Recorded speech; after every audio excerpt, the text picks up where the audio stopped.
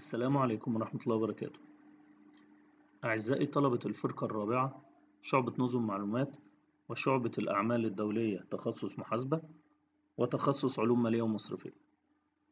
نتيجة للقرار الوزاري الأخير إن هيتم تسجيل موضوعات بحثية للطلاب اللي عندهم مواد تخلف من سنة أولى وسنة تانية وسنة تالتة.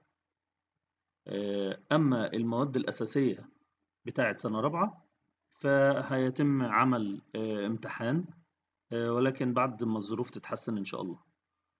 طيب في البداية لازم نعرف إن عملية تسجيل الأبحاث من خلال المنصة التعليمية بس يعني مش لازم ننزل المعهد. وتاني حاجة لازم نعرفها إن المواد اللي إحنا هنعمل فيها أبحاث هي مواد التخلف فقط. بعد كده بدخل على المنصة. وهنوفر ال link الخاص بالمنصة بتاعت السنة الرابعة على الجروبات وعلى الموقع الرسمي للمعهد. اللي هو الرابط ده. المعهد dot com. بيظهر لي الشكل ده. بيتم الدخول على المنصة من خلال كارنيه الترم الثاني الموجود مع الطالب. وبالأخص رقم الجلوس وكود النتيجة اللي بيبقوا مكتوبين آه، داخل الكارنيه. بعد ما بكتبهم بضغط دخول.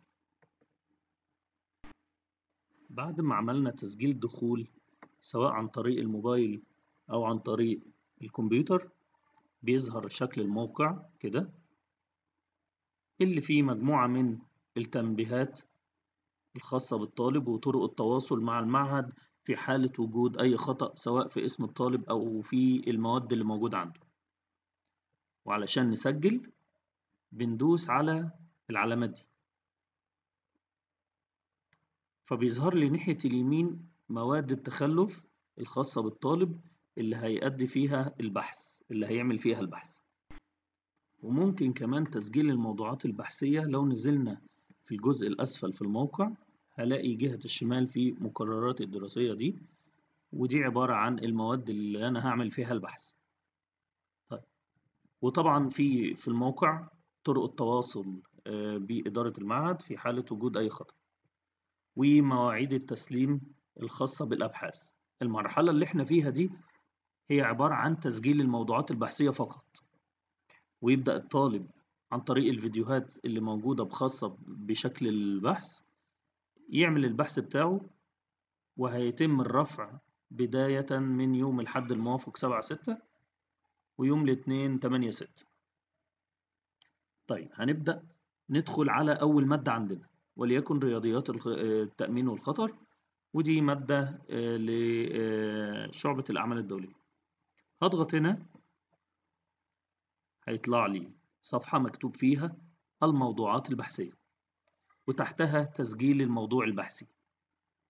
لما بضغط عليه بيطلع لي مو- مجموعة الموضوعات الخاصة بالمادة دي الموضوع الأول الثاني الثالث وهكذا. وكل موضوع جنبيه العنوان الخاص بالمقال.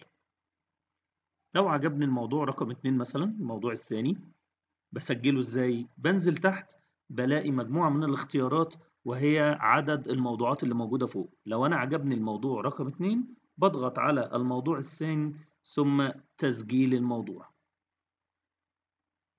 طيب كده المادة الأولانية. لو أنا عايز أسجل في المادة التانية إما عن طريق الجهة الشمال دي المادة التانية اللي هي القانون التجاري أو من خلال الجزء اللي ناحية اليمين برضو القانون التجاري أضغط عليه هيجيب لي نفس اللي حصل في المرة اللي فاتت تسجيل الموضوع البحثي.